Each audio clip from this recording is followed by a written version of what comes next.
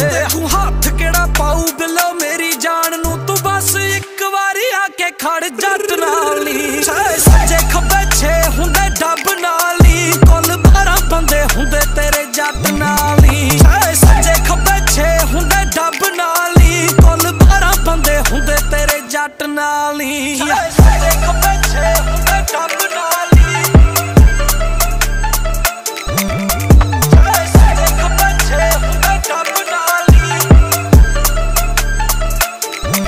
Namah